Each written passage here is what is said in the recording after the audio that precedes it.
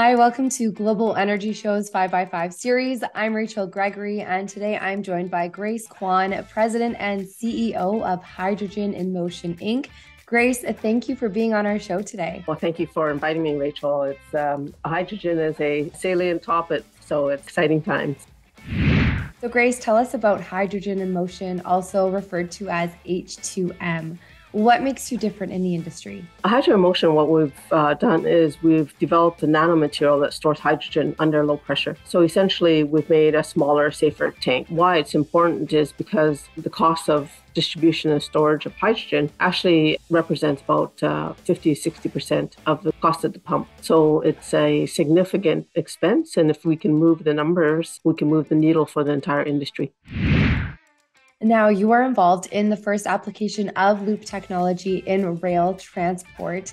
Can you tell us more about this technology and how did this partnership begin? I'm on the Canadian Hydrogen Fuel Cell Association board as chair of the Government Affairs Committee. Of course, I know all the companies in the association, and Loop is one of the, the great companies. In terms of rail transport, it's with Southern Railway of BC and UBC Okanagan, uh, the School of Engineering, ourselves Hydrogen Motion. We had some funding from BCR, the Clean Energy Program, and as well as NRC IRAP program. We brought in Loop as a fuel cell provider, and they have a very interesting fuel cell, very efficient, and we thought it'd be useful in a rail application. We know we're very pleased to highlight another Canadian company and Canadian technology. Of course, the other fuel cell companies in Canada are equally competent. It's just a matter of who has the availability to make the engine, etc.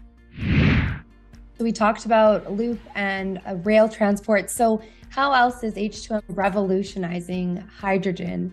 And why is hydrogen a good solution for energy storage and transport system? We need to move away from the fossil fuel industry. We have to leave the dinosaurs in the ground as it is. And hydrogen is when you can store it in any density, it's actually an enormous amount of fuel. So it's all about the density of the energy, and that's what we're doing. But hydrogen is clean. When you put it through a fuel cell, what you receive is water, H2O, right? So why is it a good solution for storage and transport? They're looking at battery. We know we have battery electric vehicles and battery electric scooters. And in Asia, they have all sorts of two stroke type vehicles have converted into battery. But the problem is for long duration or heavy loads, batteries actually take a, a large part of your payload because of their weight. And so with hydrogen, we can really extend the duration or extend the range, which you cannot do with batteries. It's a way to get to zero emission world. And hydrogen is sustainable, it's renewable. Once the price goes down, it'll be used in all number of equipment equipment. We're looking at heavy duty because that's a market that is not well served by the battery. We're also looking at a very small swappable system as well because our tanks are smaller and we use low pressure. We use 50 bar instead of 700 bar. We can do swappable tanks. We're doing a project in India using a three wheeler tuk tuk and auto rickshaw. We're extending the range with a fuel cell and our swappable tanks.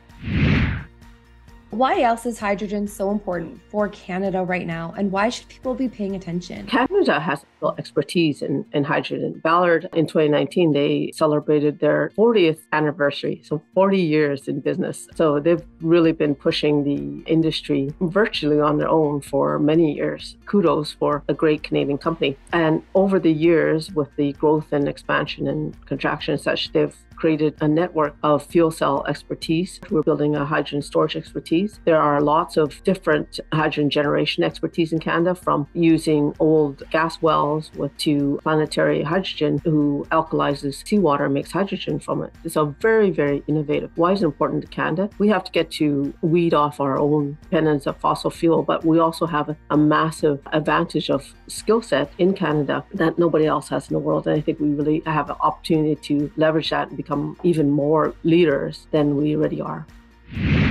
So, does Canada have the current infrastructure to produce hydrogen at this scale? And if not, what needs to happen to attract the right investment? In the last federal budget in the fall in 2022, they were talking about the investment tax credit, especially for hydrogen. I think they will be in the next budget, they'll also be talking about directly funding hydrogen projects. Obviously, the government of Canada and the provinces have to get engaged and have to open up a regulatory environment. I'm on the chair of the Codes and Standards working group for hydrogen storage and transport because we need to make sure that we have the regulatory environment that will allow for hydrogen to be used all over Canada in different methods. All the sort of background things that electricity and gasoline have put in place already with 150 year head start, we have to do and we have to get on it quickly because climate change is upon us. You know, you see colder winters, you see hotter summers, we see it's all experienced in water in different rainfall. And our agriculture doesn't have the capacity to rebound from that quickly. We're seeing that at the price at the till. We have to all chip in and make this happen because the world is changing around us. Well, thank you, Grace. It was great chatting with you, learning about your projects